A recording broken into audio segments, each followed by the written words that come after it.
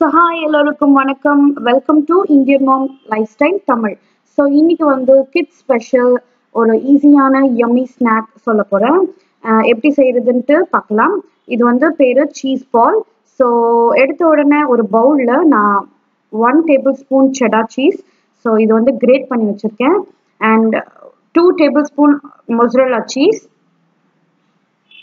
அதையும் எடுத்துக்க போகிறேன் ஸோ இதோட வந்து நான் வந்து one fourth spoon dry red chilli flakes போட போகிறேன் ஒரு லிட்டில் ஸ்பைசினஸ்க்கு அண்ட் அதுக்கப்புறமா one fourth spoon of basil இது வந்து ட்ரை பேசில் ஈஸியாக மார்க்கெட்டில் அவைலபிள்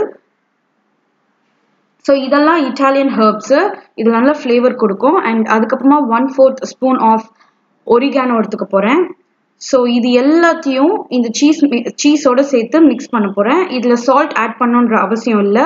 சீஸில் ஏற்கனவே சால்ட் இருக்கும். ஸோ நல்லா மிக்ஸ் பண்ணிக்கோங்க. எடுத்து வச்சுக்கோங்க. அண்ட் இன்னொரு பவுலில் six slices of white bread white bread use பண்ணலாம். வீட் பிரெட் யூஸ் பண்ணலாம். மல்டிகிரெயின் பிரெட் யூஸ் பண்ணலாம். ஸோ அதை வந்து சின்ன சின்ன பீசஸாக கட் பண்ணி வச்சுட்டு அதில் கொஞ்சம் கொஞ்சமாக வாட்டர் ஆட் பண்ணி சப்பாத்தி மாதிரி டோ பண்ணிய போகிறேன் ஸோ இது வந்து நல்லா ஸ்மூத்தாக டோ மாதிரி ஆகிடும் கொஞ்சம் கொஞ்சமாக தண்ணி ஆட் பண்ணி மிக்ஸ் பண்ணும்போது. ஸோ கொஞ்சம் தண்ணி தான் பிடிக்கணும். பிடிக்கும். ஸோ கொஞ்சம் கேர்ஃபுல்லாக இருக்கணும். ஸோ அதுக்கப்புறமா ஒரு சின்ன பால் சைஸ்க்கு ஒரு எடுத்துக்கிட்டு ஸோ அதை வந்து நல்லா இப்படி ஸ்ப்ரெட் பண்ணி விட்டுட்டு அதுக்கு நடுவில் நம்ம மிக்ஸ் பண்ணி வச்சுருந்தா அந்த சீஸ் மிக்சரை நடுவில் ஸ்டஃப் பண்ணிடலாம்.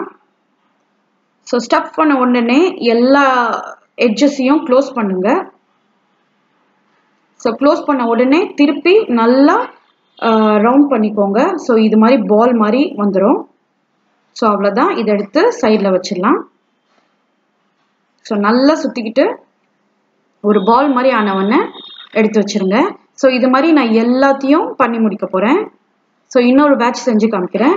ஸோ ஒரு ரவுண்ட் ஷேப்பில் அந்த ப்ரெட் டோவை எடுத்துக்கிட்டு பாம்பில் வந்து நல்லா ஸ்ப்ரெட் பண்ணி வச்சுக்கோங்க. அதுக்கு நடுவில் சீஸ் மிக்சரை வச்சுட்டு எல்லா என்ஸையும் க்ளோஸ் பண்ணிடணும். ஸோ எல்லா என்ஸையும் க்ளோஸ் பண்ண உடனே அப்படியே ரவுண்ட் ரவுண்ட் அண்ட் ரவுண்ட் பண்ணிட்டே பால் ஆக்கிக்கோங்க. ஸோ இவ்வளோதான் cheese ball ready to be fried so இது எல்லாத்தையும் எடுத்து ஒரு டென் டு ஃபிஃப்டீன் மினிட்ஸ் வந்து சைடில் வச்சுக்கோங்க. ஸோ நான் எல்லாமே செஞ்சு முடிச்சிட்டேன். ஸோ இது செஞ்சுட்டு நான் என்ன பண்ணேன்? கடாயில் எண்ணெய் சூடு பண்ணி வச்சிட்டேன். ஸோ ஒரு டென் மினிட்ஸ் கழிச்சு எண்ணெயும் சூடாயிடுச்சு. ஸோ மீடியம் ஃப்ளேமில் இருக்கணும். ஸோ ஒரு ஒரு பாலாக எண்ணெயில் பொரிக்க ஆரம்பிங்க.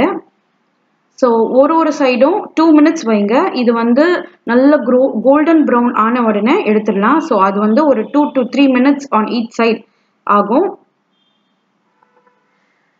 ஸோ பாருங்கள் நல்ல ப்ரௌன் கலரில் ஆயிடுச்சு. டூ டு த்ரீ மினிட்ஸில் ஸோ அவ்வளோதான் ஸோ மீடியம் ஃப்ளேமில் இருக்கணும். நல்லா ரெண்டு நிமிஷம் எல்லா சைடும் பொரிச்சு எடுக்கணும். ஸோ அவ்வளோதான் ரெடி சீஸ் பால் ஸோ நான் இன்னொரு பேட்ச் கூட செஞ்சு காமிக்கிறேன் உங்களுக்கு. ஸோ இதை நல்லா வடிகட்டி சைடில் எடுத்து வச்சுக்கோங்க.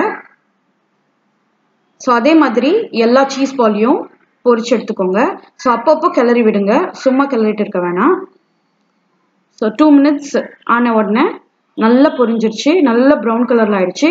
ஸோ அவ்வளோதான் ஈஸியான சீஸ் பால் கிட்ஸ்க்கு ரொம்ப பிடிக்கும். கெச்சப்போட வச்சு கொடுங்க செம்மையாக இருக்கும். அண்ட் uh, இந்த ரெசிபி உங்களுக்கு பிடிச்சிருந்ததுன்னா ப்ளீஸ் இந்த சேனலுக்கு சப்ஸ்கிரைப் பண்ணுங்கள் அண்ட் லைக் பட்டனை ப்ரெஸ் பண்ணுங்கள் and thank you all so much for வாட்சிங் until next time stay happy